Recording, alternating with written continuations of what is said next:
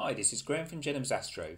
The other night I was doing some planetary imaging of the planet Saturn, which is uh, from the UK, is currently getting quite low in the southern sky uh, in the evening. Um, I was using my ZWO uh, 120 MC camera, which, um, as the name suggests, this model is the, the colour version of the camera. I was capturing some frames using uh, SharpCap. And as usual, I spent my time uh, adjusting the focus, the exposure, the gain, the sliders for gamma, etc., etc., until I was pretty happy that I got a good uh, set of capture files stored away on the PC.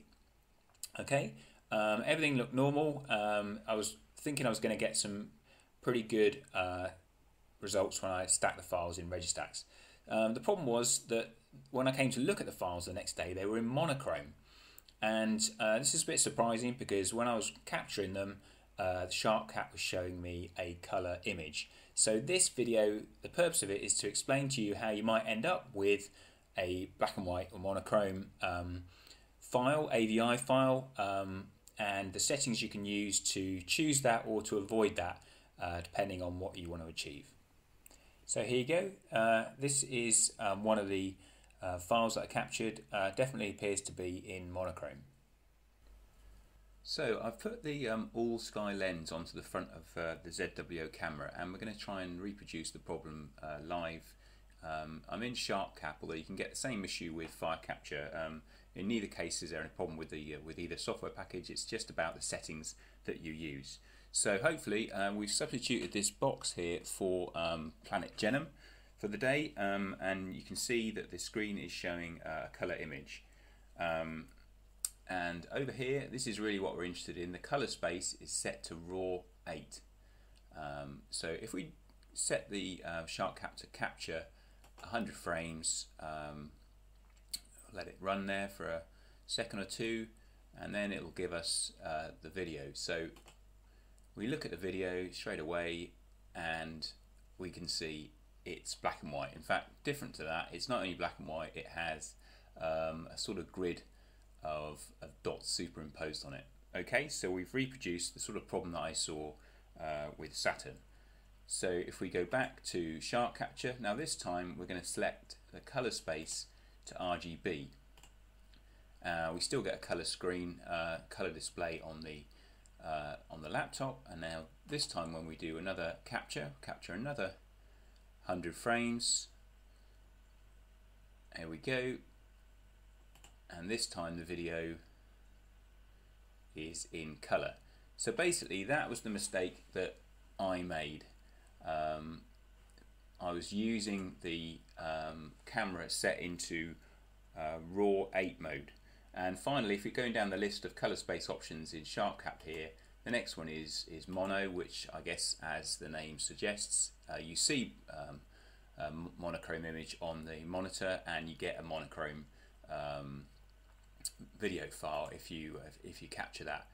Um, uh, the final option which we'll look at is is called raw um, 16 but apparently that's um, if we look at the mono one a second.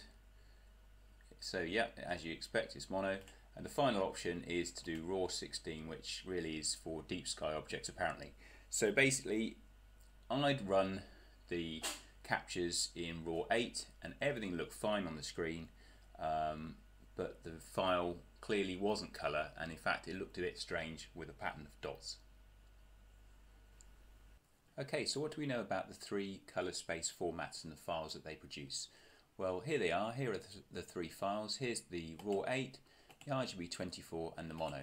Well, the obvious difference um, is the file size. Basically, the the mono and the raw 8 file are pretty well the same size and they're about one third of the size of the RGB24 uh, file um, which we saw in color. Um, so what's happening? Well if we look on wiki um, someone's very helpfully um, produced uh, an explanation of how a color camera is uh, like this one is working like the 120 MC and basically what you've got is you've got um, the normal uh, sensor cells, but on top of that, in a color camera, you've got this thing called a Bayer filter, which is a grid of different colored filters, um, more green than blue and red, uh, arranged in this layout and um, basically what happens is a red filter lets through red light, uh, green lets through green, etc. And the camera then is able to rebuild, um, if it's got the right setting, um, a color image from the grid of sensors based on knowing that certain uh, cells are, have been made sensitive to certain color, if you like, by the use of the filter. So what's happening here is when you've got the color space set to RGB24, the camera is building a color image, sending it down to the PC and recording it in an AVI file. When we've got the RAW 8 um, setting, what's happening is that the camera is just sending the raw sensor data down to the PC. And we saw that with the, looks like black and white, but with lots of dots, um, sort of grid superimposed on it. But the good news is that when you're in that RAW 8 setting, that the camera does send down the color information um, with the file, but it's it's not used on board the camera to rebuild a color image. So it gives us the hope that if you make the same um, mistake, if you like, or if you have a raw setting uh, um, that you didn't intend to in, in, in, the way that I did, you can use the raw 8 file, you can reconstruct a color video from it um, offline, and that's what we're going to try to do. So I'm going to use PIP, Planetary Imaging uh, Pre-Processing uh, application, although there are other options you can choose. And I'm going to op open up the, the file we saw earlier of Saturn, which is where we started, where we ended up with a file that looked black and white.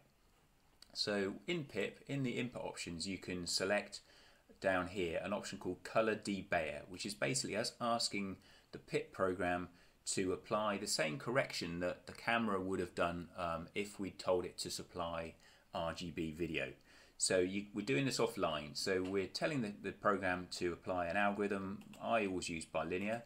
Um, and then you need to tell the program about the format of the arrangement of those green, blue and red cells on your camera. So you can either look up what options you have. There's a series of options uh, for um, inside the tool and if you don't know which one your camera uses you just use trial and error and you can apply this test options button and it produces it uh, changes the color essentially of the output file. And you can carry on until you see something that you uh, it seems about right. Um, and in the case of the ZWO um, ASI 120MC it's GRBG so when I apply that I we start to get the sort of colour that I saw on the video screen when I was using SharpCapture um, previously, uh, and, and of course I thought everything was fine, um, but it wasn't. So what do we do then? We go to do processing, ask uh, pip to process the file to apply that color debayering.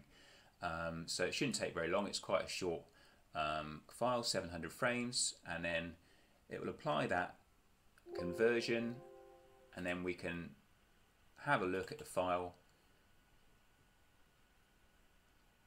and here we are so we've managed to go we managed to save this uh, mistake as a mistake originally in that I, I expected uh, that the camera was outputting color video and it wasn't but we've shown that if it's outputting raw video we can use an offline program uh, like this to reconstruct um, uh, a color video which we can then use um, as we wish, for example, in, in Registax in order to produce an image of Saturn. So hopefully it's been useful. Um, I try to point out some of the mistakes I make so that you can um, not make them yourself. Um, if you like this video then please subscribe to my channel by pressing, pressing the red subscribe button. Um, thanks for watching.